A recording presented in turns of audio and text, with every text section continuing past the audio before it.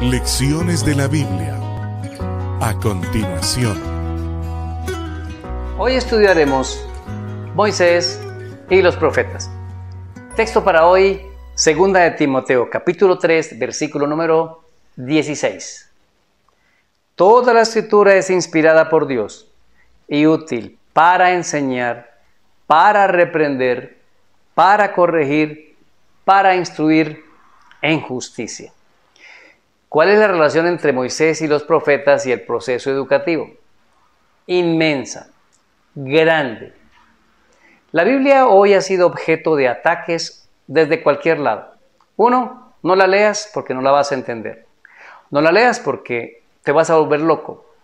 No tengo tiempo para leer la Biblia. Y otros la niegan, es un libro cualquiera y ya no tiene validez. Otro ataque grave que ha hecho la misma iglesia a la Biblia es decir que el Antiguo Testamento no es válido y que era para otros pueblos y no para nosotros. Por eso Cristo nos da un gran ejemplo en esto.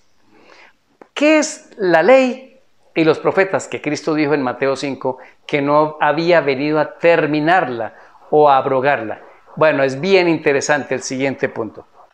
Cuando la Biblia se refiere a la ley, nos está hablando de los cinco libros de Moisés. Génesis, Éxodo, Levítico, Números y Deuteronomio. Le asigna un nombre a todo eso, la Torá. Es muy interesante que la palabra la Torá significa enseñanza e instrucción. ¿Por qué?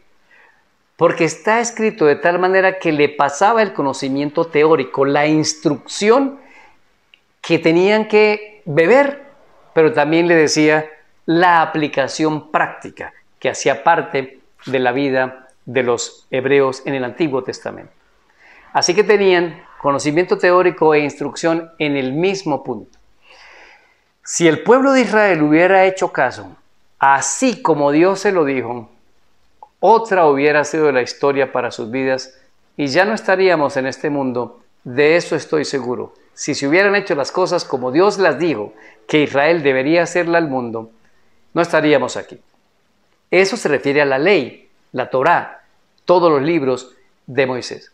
Pero también dice los profetas, y en este resumen del Antiguo Testamento en dos palabras, se refería a todo el resto de libros que conformaban el Antiguo Testamento. Así que la Torá y los profetas se refería a todo el Antiguo Testamento. ¿Qué había ahí? Toda una cantidad de conocimiento teórico e instrucción práctica para hacer de los hogares los mejores hogares. ¿Cuál era el propósito de Dios? Que al obedecer voluntariamente por amor, todo el mundo iría a preguntar, ¿qué tienen ustedes?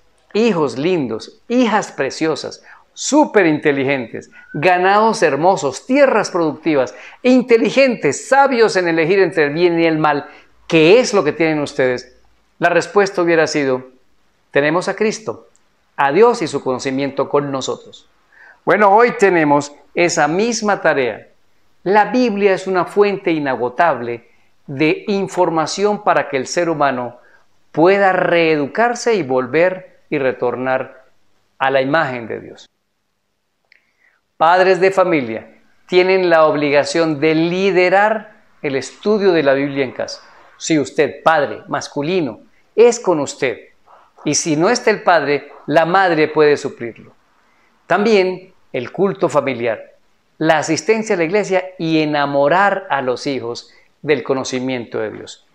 No crea pues en aquello que dice que el Antiguo Testamento es para un pueblo y que el Nuevo Testamento es para otro. La Biblia es una unidad completa, toda es inspirada por Dios y está disponible para nuestra vida práctica y para nuestra salvación. Soy Daniel Herrera y deseo para todos un día lleno de bendiciones.